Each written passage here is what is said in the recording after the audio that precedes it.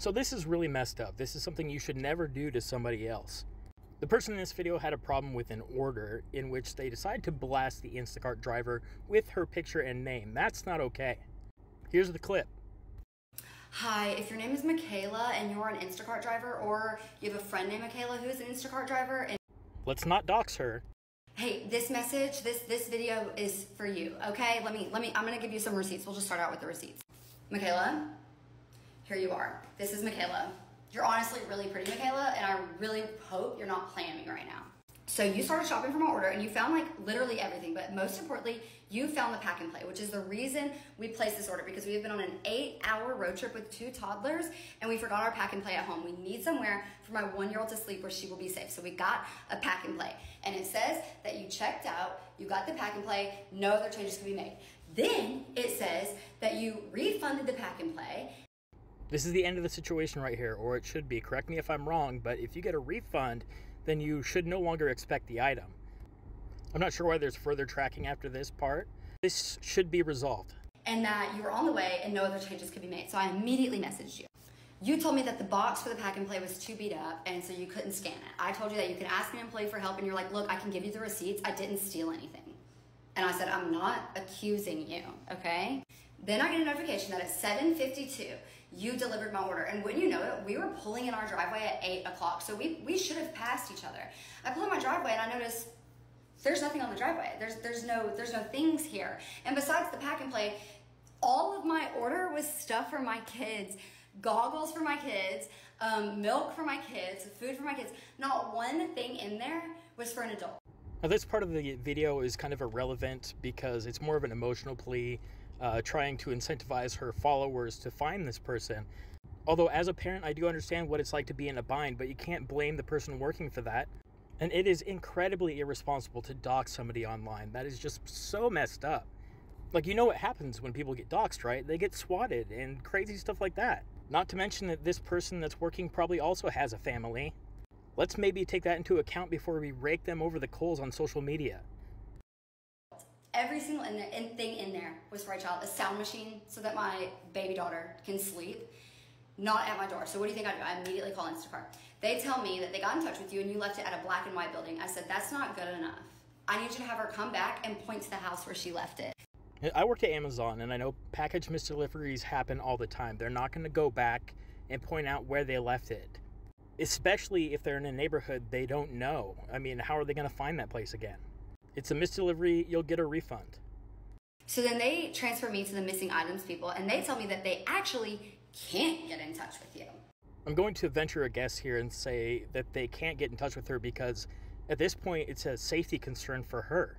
When it becomes an escalated issue to the point where you feel like you need to make a video, this is the point where customer service or corporate is supposed to step in and take over the transaction. You do not chase an individual contractor for this. So now my beef is not only with Michaela, but it's also with Instacart. Because what do you mean you can't get in touch with her? She's your employee, right? She, like, right? You can't get in touch with her. So then they tell me, we'll give you a refund, but you're not going to get this refund for five to seven business. I need to mention here that that processing time for a refund is normal depending on your bank. It could be faster, but it could also be slower. It depends totally on your bank or payment processor. This isn't something they're doing on purpose to inconvenience you, it's just how it goes, unfortunately.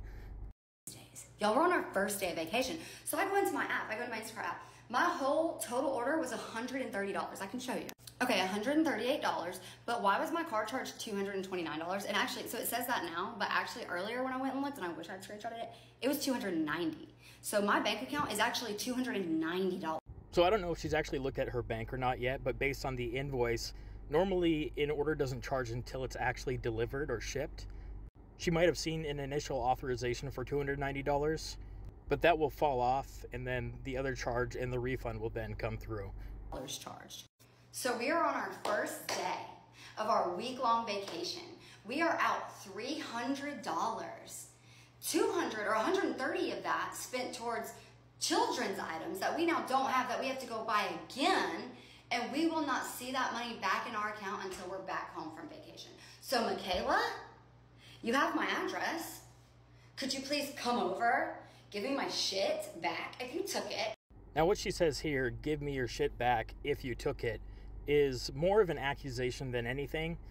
The way that she's fired up makes me think that she's already assumed that this person stole her stuff, which isn't a good conclusion to jump to. Or me and you can go drive to the house where you did drop it off. We can knock knock and I can get my shit because I need my shit. Then you and I together can go to Instacart, get your ass a raise because they definitely were not happy with you on the phone, and then we can stay, take my money back from them. Thank you and goodbye. Please help me find Michaela. Now, Michaela did respond to this, but I'm not going to play that because it really doesn't matter. The core issue here is that an individual influencer decided to take this out on an employee of Instacart by providing her home location, her picture, and her first name, which, like it or not, is doxing her. There are easy ways to find her based on that information. And commenters did find her. And regardless, her profile is now private, of course. I mean, I would do the exact same thing because people are harassing her, not willing to hear her side of the story anyway. So leave this girl alone, please. Putting somebody's information out there online can be dangerous for other people, it can be a life ruiner. Imagine ruining someone's life over something that happened to you on vacation. It's not a good look, and don't do that, please.